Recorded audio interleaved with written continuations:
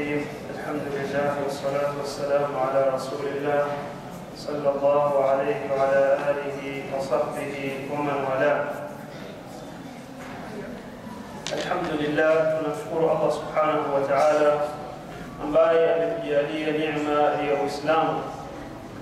نا ميغوني وفضيلة إذا سبحانه وتعالى ni kutujalia dini ya Uislamu na kutujalia sisi kuijua hii neema na kuwa sisi yatupasa kuyatekeleza yale maamrisho ya Allah subhanahu wa ta'ala.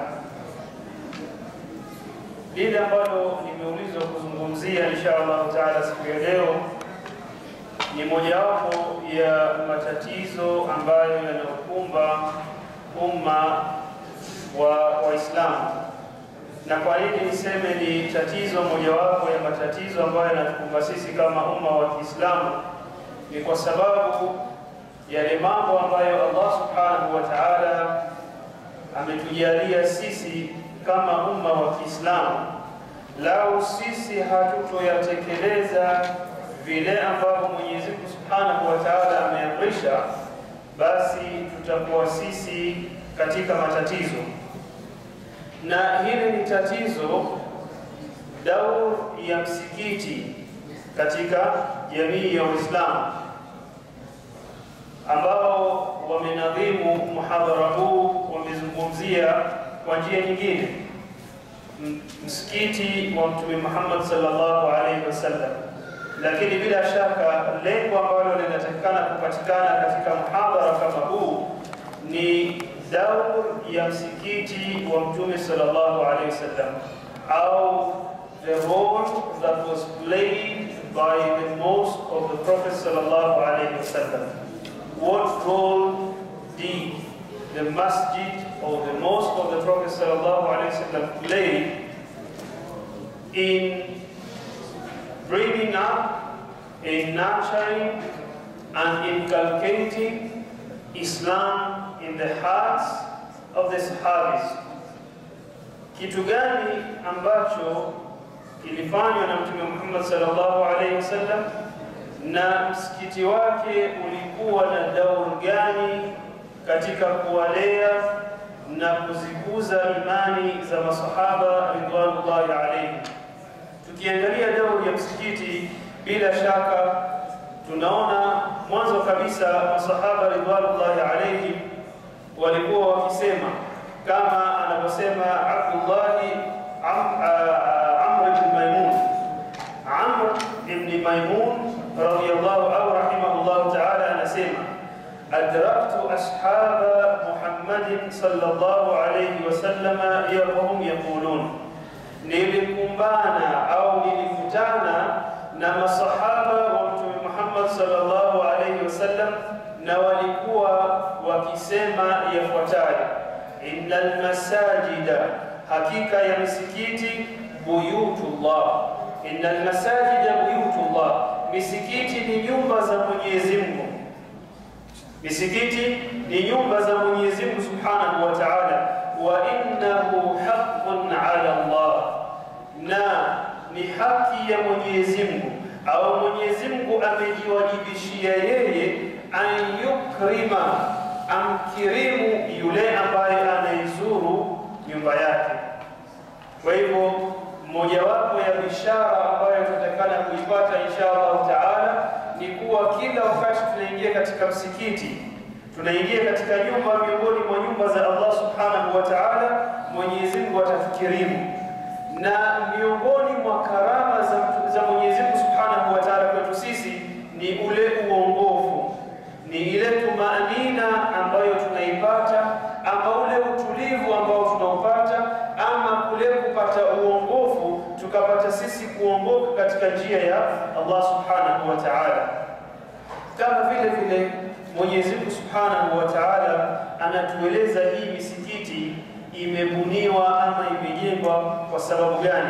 Asema wa anna almasajida lillahi fala tad'u ma'a Allahi ahada, hakika hii msikiti ni ya Mwenyezi Mungu subhanahu wa ta'ala basi mtu asimuombe asimwabudu mwingine pamoja na Allah subhanahu wa ta'ala katika hii msikiti. Bila shaka haifai kumwabudu asiyekuwa Allah mahali popote, lakini zaidi usije wewe kumwabudu asiyekuwa Allah subhanahu wa ta'ala katika ile misikiti ya Allah subhanahu wa ta'ala. Hii katika thawbi katika tautia ama kule kuingia katika maudhui ambayo insha Allah taala tuko nayo.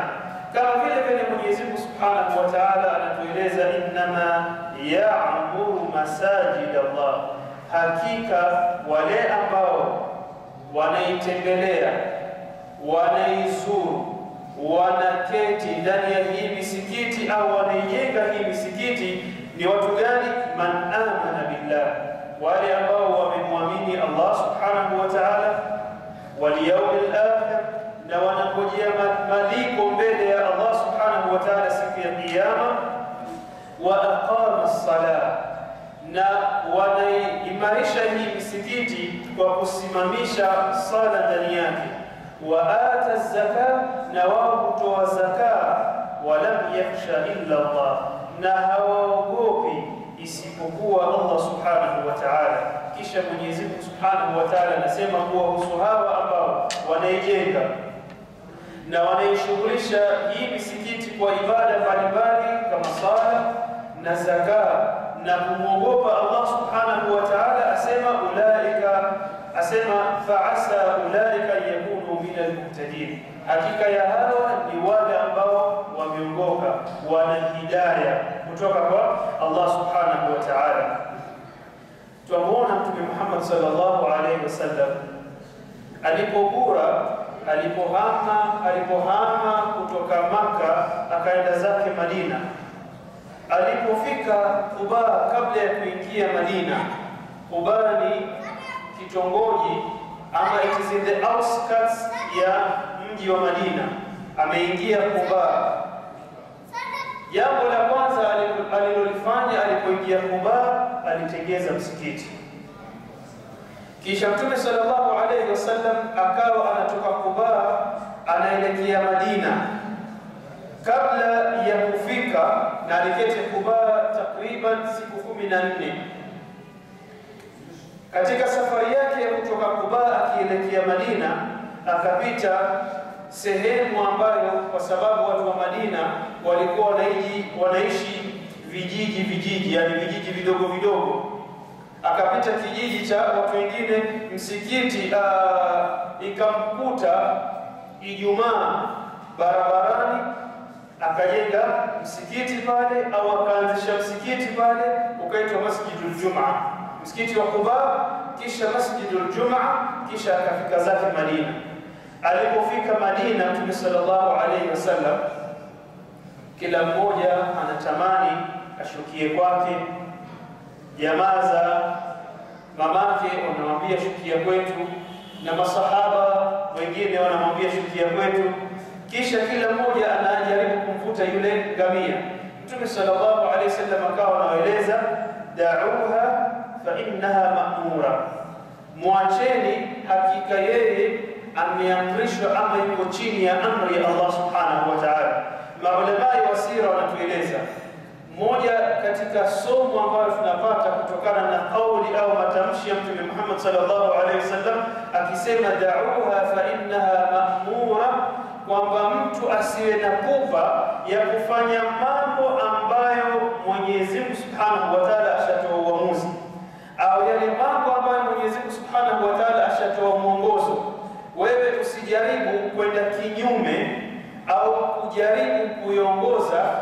dini ya Allah subhanahu wa ta'ala.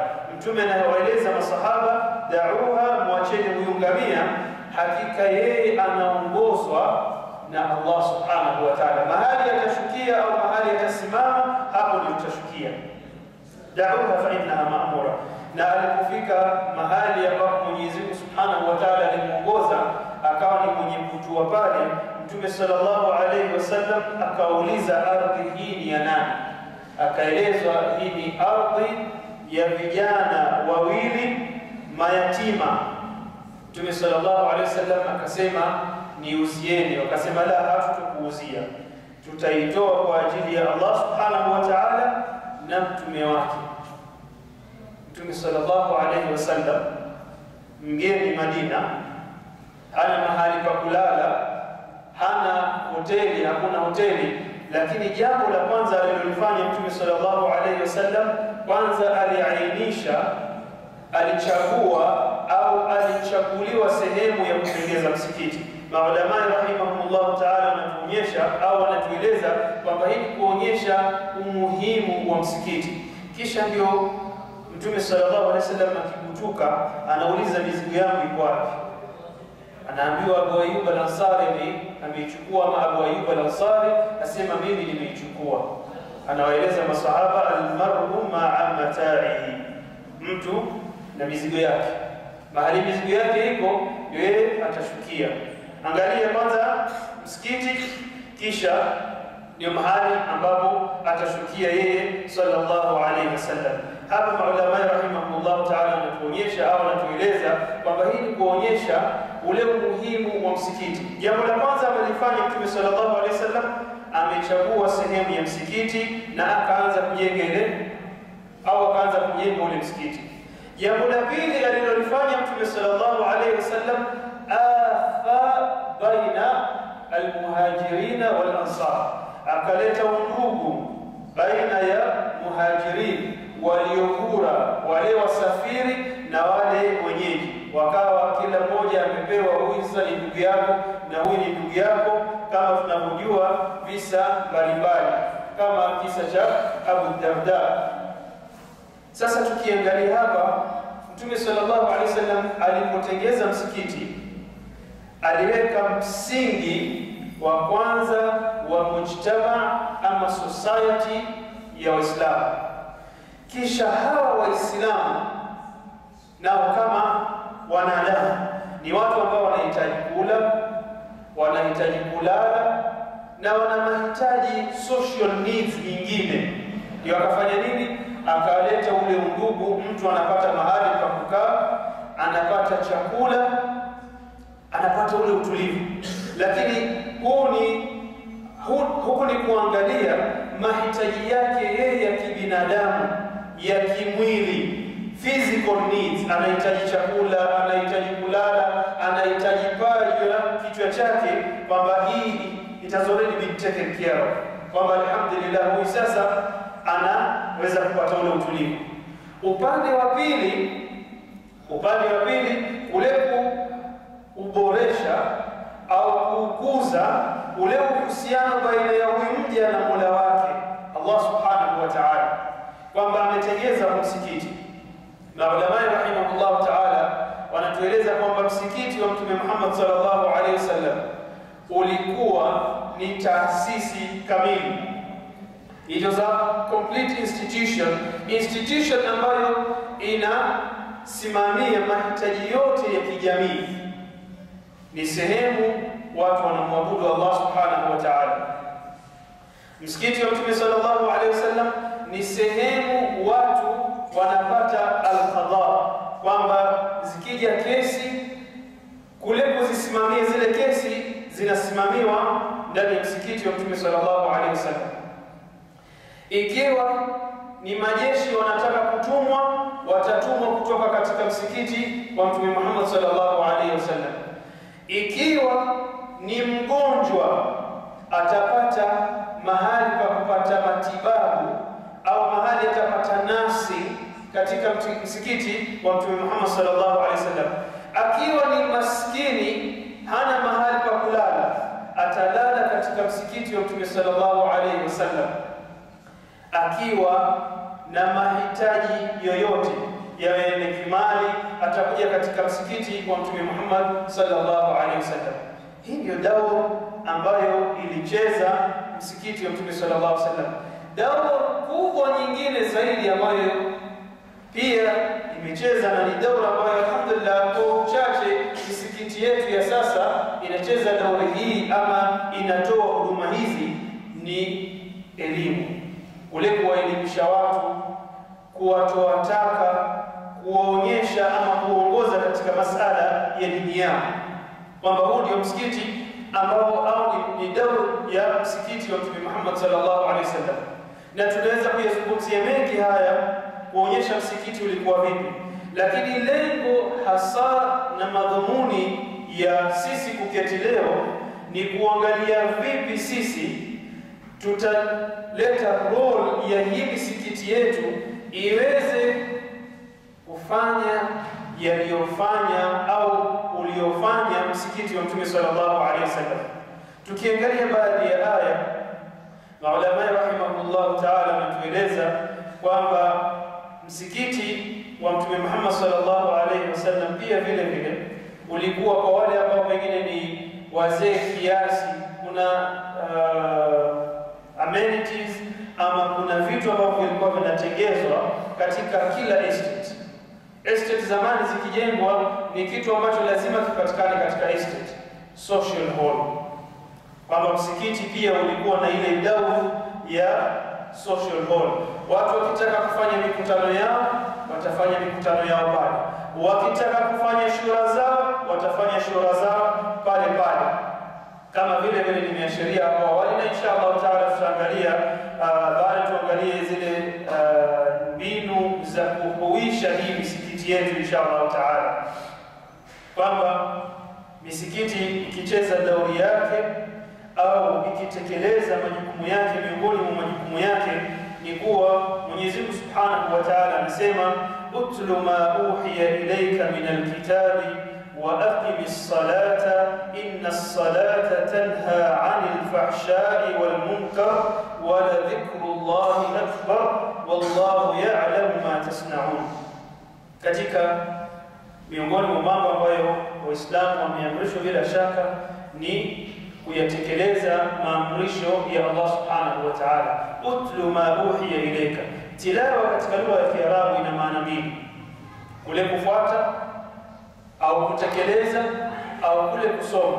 Kwa hivyo Mwenyezi Mungu subhanahu wa ta'ala akimweleza Mtume Muhammad sallallahu alaihi wasallam and by extension, kila mmoja wetu anaamrishwa kufanya jambo hili, kwamba tunaambiwa utlu ma uhiya ilayka, fata yale ambayo tumekufunulia wewe au yasome yale ambayo tumekufunulia wewe, ma uhiya ilayka min alkitabi wa aqimi ssalah. Kwa hivyo tekeleza maamrisho ya Allah subhanahu wa ta'ala ambayo tumekupa wewe, tumekufunulia wewe Muhammad sallallahu alaihi wasallam katika Qur'an, na uyasome. Kwa hivyo tilawa maana zake mbili, wa aqimi ssalah, na uzisimamishe hizi sala. Hakika hizi sala zinamzuia mtu kutokana na makemeo na madhambi na maasi ya mbalimbali.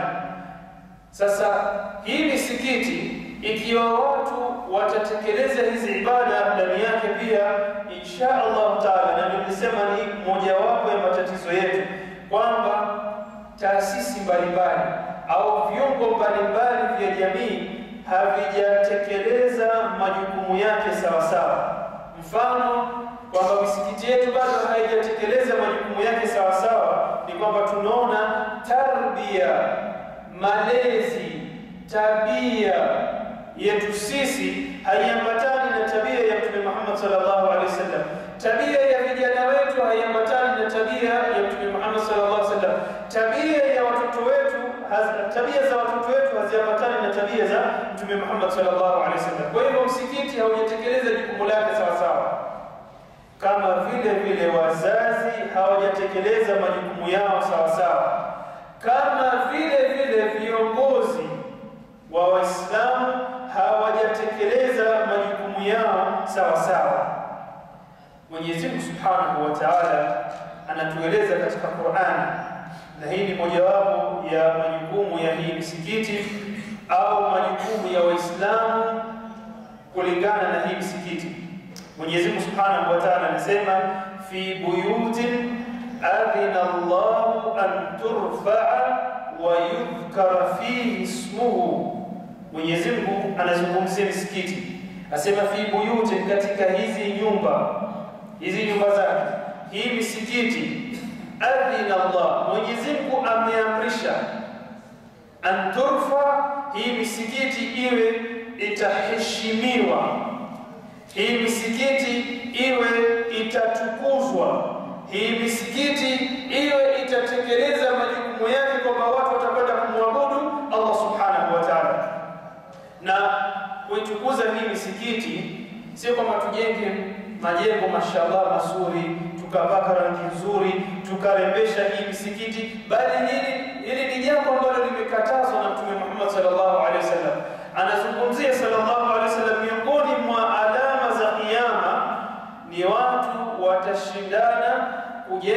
misikiti ya kifahari au ya kifahari, misikiti mikubwa mikubwa, ina nakshi mbalimbali, imerembeshwa mashallah. Ukiingia msikitini tubhar, kwamba wewe una unapumbazwa na uzuri wa ule msikiti, kinyume na kupumbazwa kwa waja wema.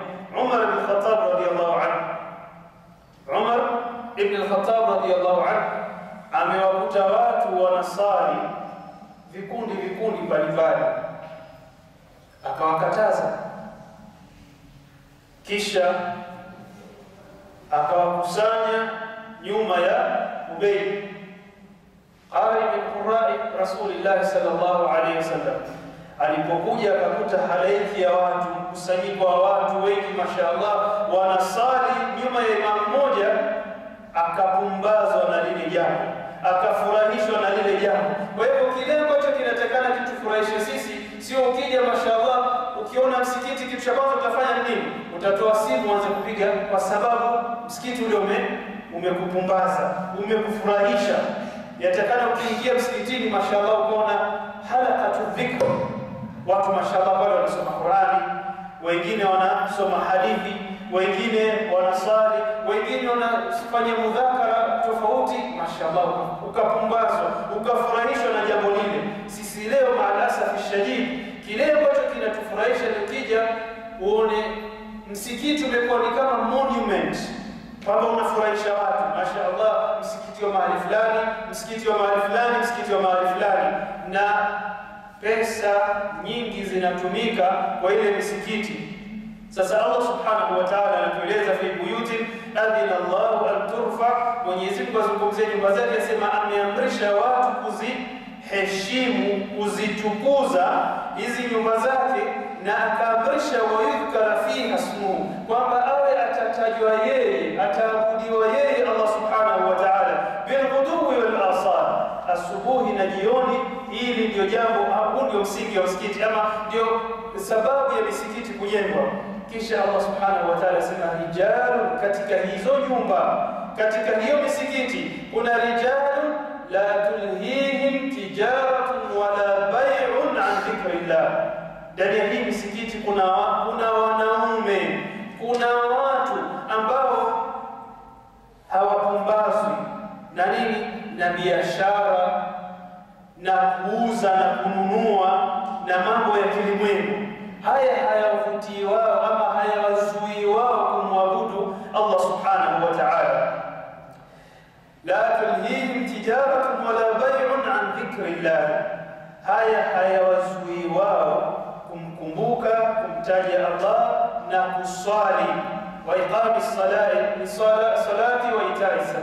hayawazuii wao. Wakisikia Allahu akbar, Allahu akbar, moja kwa moja anakwenda msikitini. Sio sisi leo mtu atasikia adhan ataendelea kuuza mpaka kad qamati sala kad qamati sala. Yule ambaye Mwenyezi Mungu amemrahamu ndio atakimbia msikitini, na wengine basi mpaka asikie salamu alaykum wa rahmatullahi astaghfirullah, atakimbia msikitini au ataingia kando aende kusali kule kule uh, dukani. Hizi aya ambazo tunazitaja ni kuonyesha kwamba Mwenyezi Mungu Subhanahu wa Ta'ala amejalia hii misikiti au hii misikiti sababu yake ni nini? Yaani imejengwa hii misikiti kwa sababu gani? Misikiti kama tulivyosema, ilikuwa ni sehemu za kuswali, au msikiti wa Mtume sallallahu alaihi wasallam ilikuwa ni sehemu ya kuswali. Msikiti wa Mtume sallallahu alaihi wasallam ilikuwa ni sehemu ya elimu. Msikiti ilikuwa ni sehemu ya fatwa, watu wanakuja kupata fatwa, kuuliza maswali.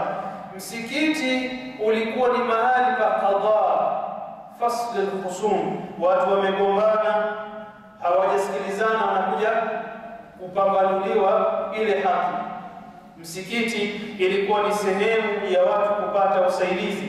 Msikiti ilikuwa ni sehemu ya watu pia kuweza kupata mwongozo.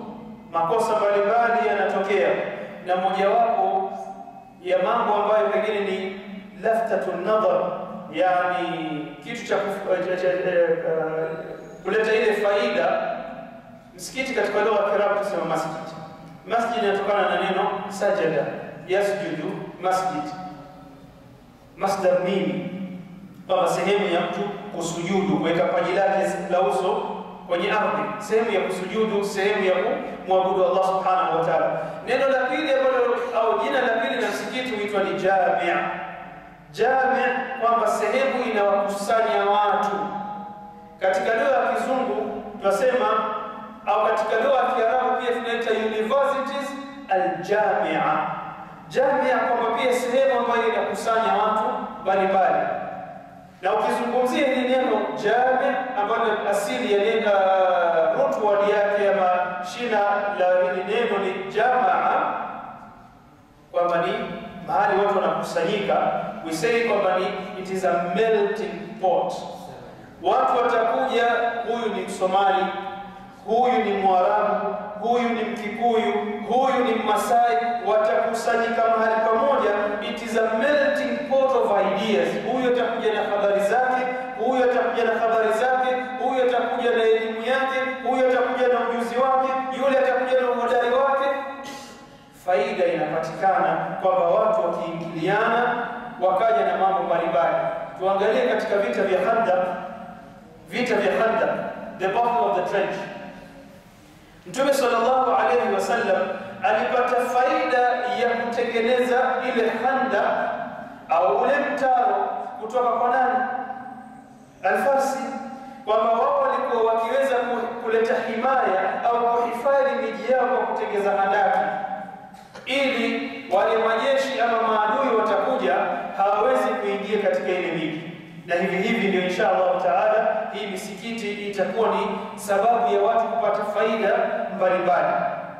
Sasa baada ya kuangalia haya yote, tunataka tuangalie insha Allah taala vipi sisi tunaweza kuhuisha misikiti yetu. Tumeona misikiti ni sehemu ya ibada, ni sehemu ya fatwa, ni sehemu ya qadha, ni sehemu ya usaidizi ni sehemu ya mikutano, ni sehemu ya shura, ni sehemu ya malazi. Almuhim, yani kila usaidizi ambao anaohitajia Muislamu akifika msikitini, kama vile Waarabu wa, Sudan wanasema mushkilatuka mahlula. Ukifika katika ule msikiti, yani wewe utapata ule usaidizi ambao insha Allah taala unahitajia kutoka katika ule msikiti. Tuangalie dawa ambayo insha Allah taala au jinsi tunaweza kuihuisha au kuihuisha misikiti yetu insha Allah taala. Kwanza kabisa tumesema msikiti ni sehemu ya ibada. Nakumbuka katika miaka iliyopita baadhi ya misikiti hapa Kenya na msikiti karibu na msikiti huu, misikiti kawaida ilikuwa inafungwa na si jambo la kustajabia. Mpaka sasa kuna baadhi ya misikiti baada ya salamu alaikum warahmatullah, pengine nusu saa, dakika kumi, msikiti utafungwa, watu watapanda zao, hasa swala ya alfajiri, msikiti utafungwa mpaka pengine kubeila dhuhur, au pengine yule msafishaji atakuja atasafisha ule msikiti kuanzia saa nne saa tano mpaka dhuhuri, lakini kabla yake msikiti umefungwa. Maalasa kwamba ule msikiti hauna nishati isipokuwa watu kuswali. Bwana mmoja alikwenda msikitini kama saa nne hivi, akakuta msikiti umefungwa. Akakutana na mmoja katika wasimamizi wa msikiti, anamuuliza ola, tafuta nini? Na mimi nataka kuingia msikitini. Anambia Mwenyezi Mungu hayuko saizi. Anambia Mwenyezi Mungu hayuko saizi, wewe nenda rudi ya dhuhuri. Hii ni kuonyesha nini? Jahili kwamba leo baadhi ya msikiti inafungwa.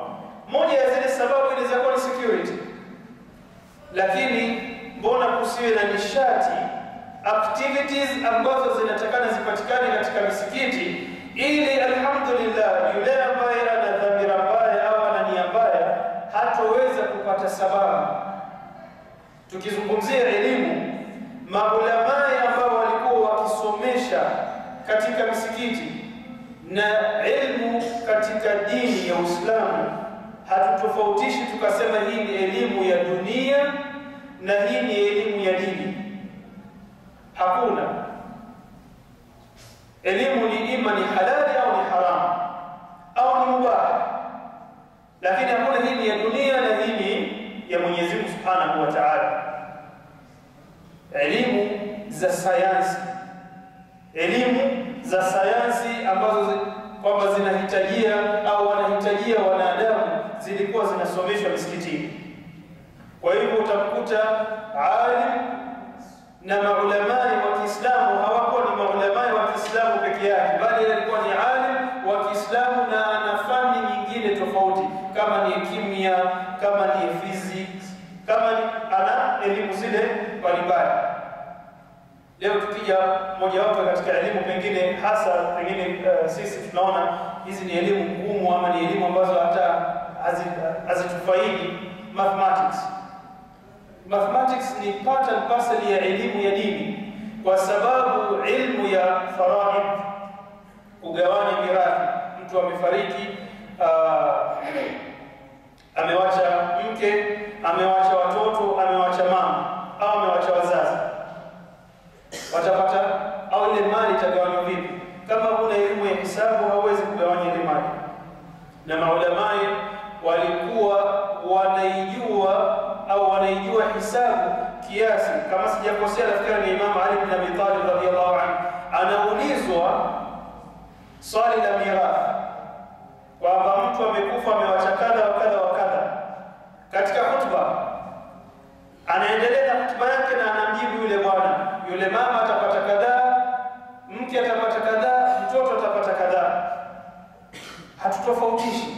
Kuna ilmu ambayo ni ilmu kwamba inakusaidia wewe kumwabudu Allah subhanahu wa ta'ala, na kuna ilmu ambayo inakusaidia wewe kama ni ukulima, irrigation, mfano kupanda, kupalilia, ni ilmu na hautosema hii ni ilmu ya dunia, kwa sababu wewe utakula nini kama ukisema hii ni ilmu ya kidunia? Hii ni ilmu ambayo unafaidika nayo. Kwa hivyo maulama rahimahumullah ta'ala walikuwa wanasomesha hizi ilmu mbalimbali. Kwa hivyo misikiti, yatakikana ilmu ipatikane katika misikiti, iwe ni halaqatu dhikr, iwe moja katika wanafunzi au moja katika ulama ambao nimesoma nao tunazungumza takriban miezi miwili au mitatu iliyopita, anasema mimi nimesomesha Sahihu al-Bukhari mara kumi na saba mara kumi na saba amesomesha Sahihu al-Bukhari. Waijua Sahihu al-Bukhari kuna na volumes ngapi? Takriban 13 volumes. Amesomesha 15 or 18 times, kwamba misikiti ina inapata activities mbalimbali, nishati mbalimbali. Mfano tafsir hiyo itapatikana. Kwa hivyo tukizungumzia masala ya elimu kwamba kupatikane na elimu, hapa tuzungumzie ni mihadhara, la, tunazungumzia ni kitabu kinasomeshwa, hiyo ni tafsiri ya Qur'an au ni tafsiri ya hadithi au ni kitabu cha fiqhi, yani ilmu mbalimbali zile zitapatikana. Na yatupasa sisi kama msikiti na hasa pengine komiti za misikiti na maimamu wawe watakuja na curriculum. Kwamba watu awamu nas, watu wa kawaida, mtu ambaye anataka insha allahu taala kuweza kusoma kiwango fulani cha elimu kuanzishwa na kitabu cha fiqh kidogo, kitabu cha sira kidogo, kitabu cha hadithi kidogo aya mbali, sura mbalimbali kidogo za za Qur'ani, pengine juzu amma au baadhi ya sura katika juzu amma. Hiyo ni marhala moja, one level. Mtu akimaliza hapo anaweza kwenda level nyingine. Ukiweza kuwalea watu kiasi hiki, insha Allah taala utapata tahyir, mabadiliko jadhri ya msingi kwamba watu watakuwa wanaijua elimu yao, watakuwa wanaijua dini yao, watamwabudu Allah subhanahu wa ta'ala kwa njia ya sawasawa. Wataweza kuwa ni mtu ni daktari mahali yuko, na anajua amri ya Allah subhanahu wa ta'ala, anajua mipaka ya Allah subhanahu wa ta'ala. Kinyume na sisi leo, mtu akiwa amesoma elimu ambayo tunasema ni secular au amesema kizungu au amekuwa ni daktari, yeye ni jahil, waliyadhu billah, kama aya ya Mwenyezi Mungu subhanahu wa ta'ala anasema akiwazungumzia makafiri, ya'lamuna dhahiran, wanaijua dhahiri ya ulimwengu, wa hum 'anil akhirati ghafilun lakini kulingana na akhira, mambo ya akhira, mambo ya Mwenyezi Mungu Subhanahu wa Ta'ala majahili. Na tofauti hii inapatikana hata katika Waislamu. Ukimkuta mtu ni professionals kama vile ambavyo tunasema, utakuta mara nyingi hana elimu ya dini, na hawa ni watu ambao naopeleka watu haji mara nyingi. Moja katika jambo la kustaajabisha ambalo nimeshuhudia mwenyewe kwa masikio yangu na macho yangu, sio jambo la kuambiwa nimempeleka mmoja katika diplomats tena wa nchi ya Kiarabu, nchi tunasema ya Kiarabu ya Waislamu, si Kiislamu, Egypt, a diplomat ambaye anafanya kazi hapa Kenya katika uh, embassy ya Egypt hapa Kenya. Nimempeleka haji, tumefika Masjidul Haram, tumefika Al-Kaaba, tumefika haram ya Makka, tumeingia msikitini. Kaaba ndio hii mbele yetu, kama vile unaona kuta huko hapa mbele yetu. Ananiuliza, huu ni msikiti gani? Amini usiamini, ananiuliza huu ni msikiti gani? Nilishtuka mmoja, nimwangalia nikashindwa, ananichezea ama ni vipi? Namuuliza, Kaaba kutama, hii Kaaba mbele yako, utaniulizaje huu ni msikiti gani? Angalia, huu ni ujahili wa kiasi gani, kwamba mtu ameingia haram Kaaba iko mbele yake, kisha nakuuliza huu ni msikiti gani?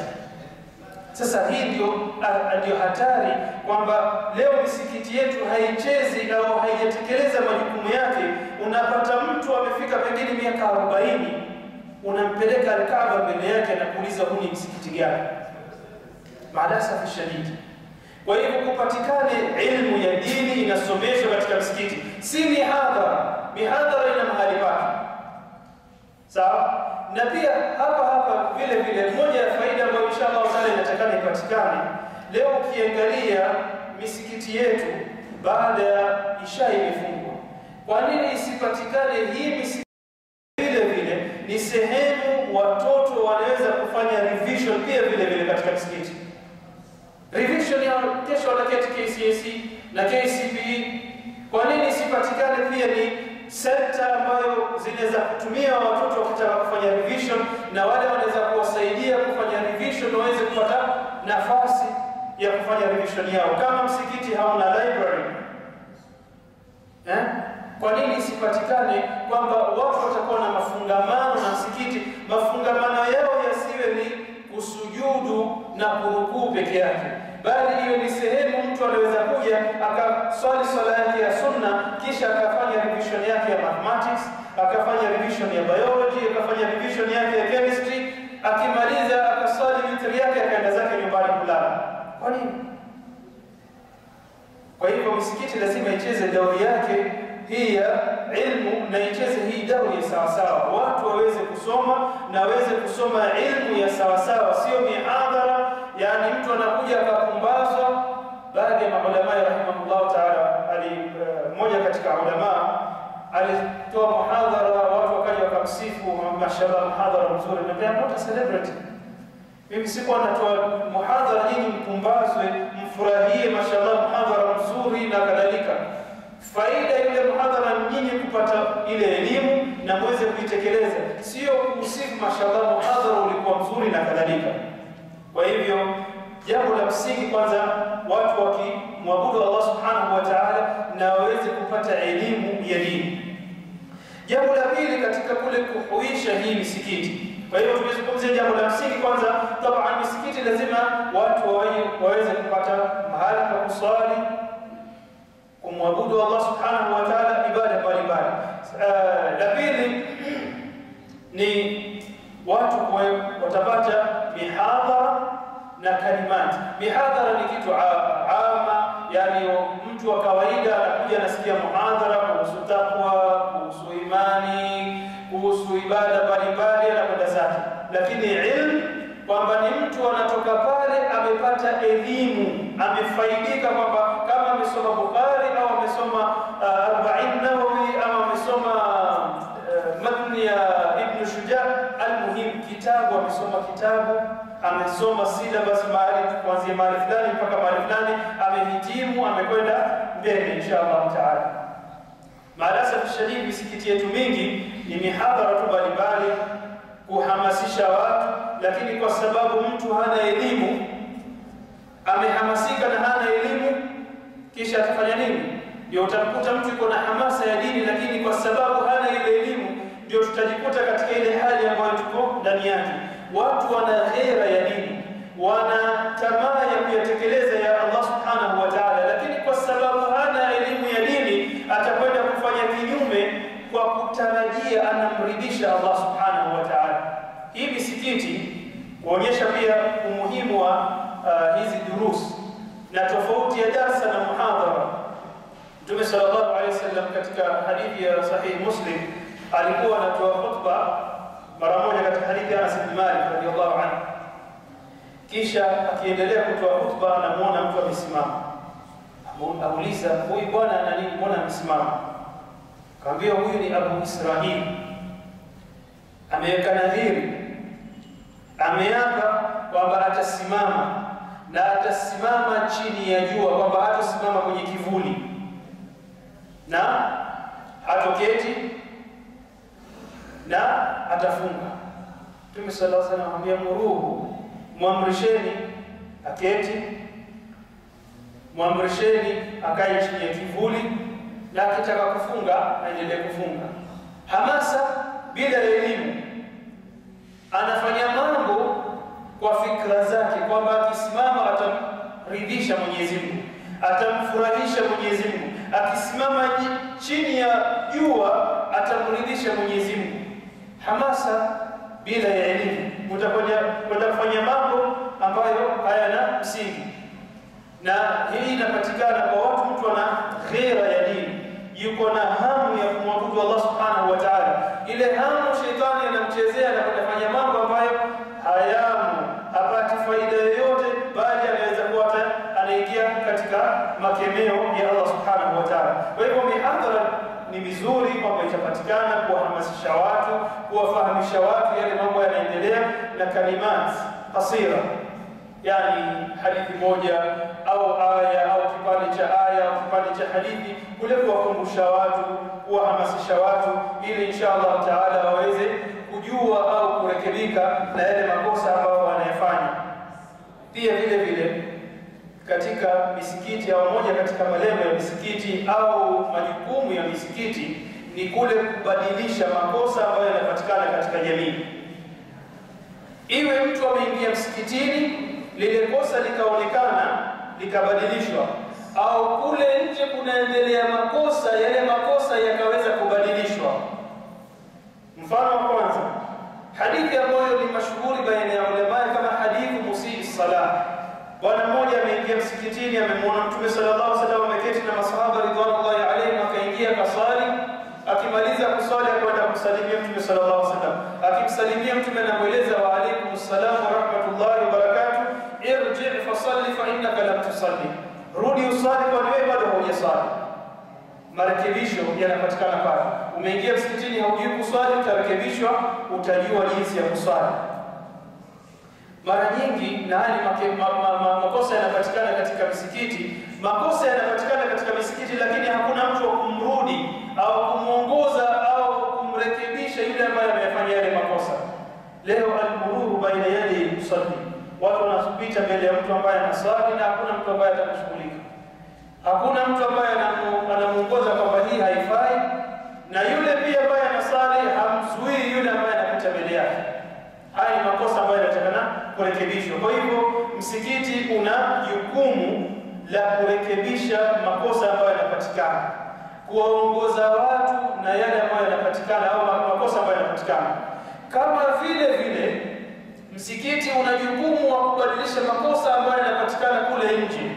Leo ikiwa katika jamii yetu zinaa imekithiri, mfano kwamba tusikia leo imekuwa ni kawaida awe kijana mwingine amevaa mpaka ninja, lakini bado watu wanazini, waliyadhu billah. Mimba ndio jukumu lake. Angalia Mtume sallallahu alaihi wasallam, mabana watatu wamekwenda kwa nyumba ya Mtume sallallahu alaihi wasallam, kwa wake za Mtume sallallahu alaihi wasallam, wanamuuliza au wanawauliza wake za Mtume sallallahu alaihi wasallam, tuelezeni vipi Mtume sallallahu alaihi wasallam huwa nyumbani, swala zake, anatangamana vipi na wake zake na kadhalika.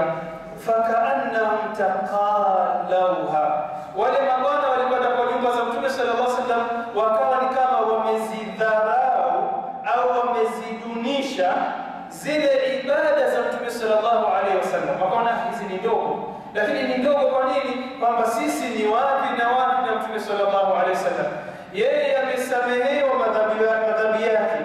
Kwa hivyo yeye hata akiswali kidogo hivi, kwa hivyo yuko sawa. Kisha mmoja akasema, mimi sitokula, mimi sitofunga, mimi sitooa, mimi sitolala usiku. Mtume alifanya nini? Amesimama kwenye mimba mabalu aqwami, watu wanasema nini? Akauliza, nyinyi ndio ambao mmesema kadha wa kadha wa kadha? Hakika mimi ndio namwogopa Mwenyezi Mungu subhanahu wa taala zaidi kuliko nyinyi, lakini mimi naoa na mimi nafunga na hula na mimi huswali usiku na mimi hulala. Kwamba anayakosoa yale makosa yametokea wapi?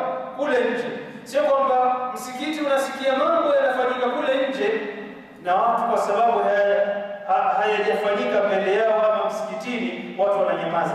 Mtume sallallahu wasallam ilikuwa anafanyika kule nje, anakuja anasimama kwenye mimba, magalu aqwami, watu wana nini? Wanasema kadha wa kadha wa kadha, anasimama katika msikiti sallallahu alaihi wasallam. Leo jamii ikiwa baadhi hata ya taasisi za Kiislamu, mfano sasa hivi karibuni tukaribu ku uh, get mitihani ya KCPE na KCSE. Baadhi ya shule za Waislamu zinatuhumiwa na masala ya leakage. Ni misikiti mingapi yetu imezungumzia kwamba hili ni moja katika makosa, si makosa baina ya mwanadamu, ni makosa baina yako wewe au ni dhambi baina yako wewe na Allah subhanahu wa ta'ala. Maulama rahimahullah ta'ala, kama Ibn Uthaymeen aliulizwa, je, mtu akiwa atafanya rushi katika mtihani akapata daraja za juu kisha akapata kazi, je, ile mali itakuwa au ile mshahara atakuwa akiupata utakuwa ni halali? Asema hautakuwa halali. Wewe fikiria, kuanzia wewe pengine uli ulipata leakage ukiwa standard 8 sasa unafanya kazi kwa vile, kwa sababu umeipata hiyo kutokana na hii, kile ambacho unachuma si halali. Wewe fikiria, what is at stake? Mtume sallallahu alayhi wasallam anasema ayu jasadin ghudhiya bilharami fannaru haqu bihi, mwili ambao unalelewa au unakuwa nourished, unapata nutrition yake kutokana na haramu, fannaru haqu bihi, kwamba una haki kuingia katika moto. So what is at stake? Ni aljannatu wannar, sio swala la kuiba mitihani kwa kwamba ni jambo dogo. Kwa hivyo yale makosa ambayo yanatokea kule yatakikana mahali pa kuyazungumzia ni hapa msikitini. Kwa hivyo msikiti una jukumu ya kumrekebisha, na huu ama hii ndiyo sababu msingi ya kuwekwa sala ya Ijumaa. Hii ndiyo sababu msingi ya kuwekwa sala ya Ijumaa na khutba ya Ijumaa, kwamba itazungumzia yale mambo ambayo yanajiri katika jamii, matukio ambayo yamepatikana katika ile wiki, yawe yatazungumziwa katika swala ya Ijumaa, na watu watakusanyika katika msikiti wa Ijumaa, wataweza kuambiwa yale mambo ambayo yametokea na mwongozo wa dini, hukumu ya dini ni nini.